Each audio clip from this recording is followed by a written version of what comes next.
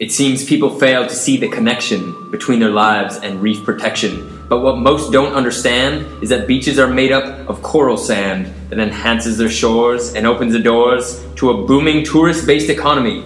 And think about what would happen to the 38 million fishermen who directly rely on this source for food and money, of course. As the bleached corals are dying, the biodiversity is crying for all that marine wildlife forced into so much strife. And we are mostly to blame, though where is our shame for the rising temperatures? Like we're just some amateurs who don't know what to do, though have you really thought it through? We are an island in the Caribbean going through a lot. But do people not care? Have they simply not been taught? About these lionfish in the water that came from the Far East? They're the main reason the biodiversity has decreased. The parrotfish get eaten, the angelfish will die. This will cause a problem we cannot deny. You see, in Pacific waters, the lionfish are prey. Bigger fish eat them, their population kept at bay.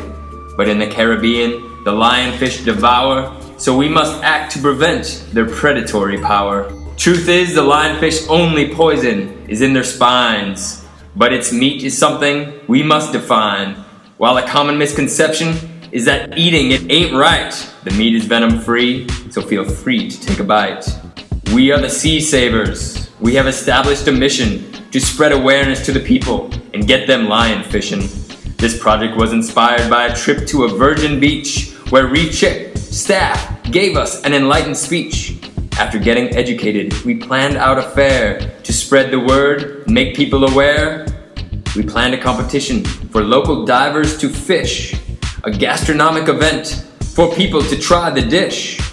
For months, we went to work to make it a success. We made calls to find sponsors. We informed the press.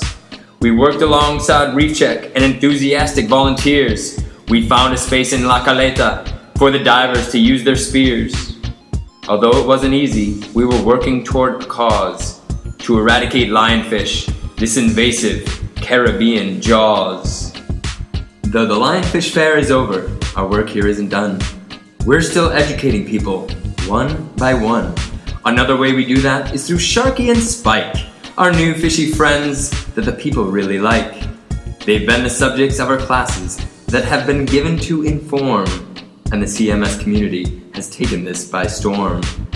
To the Global Issues Network, our ideas have been brought. So thank you for your time, and we hope you've learned a lot.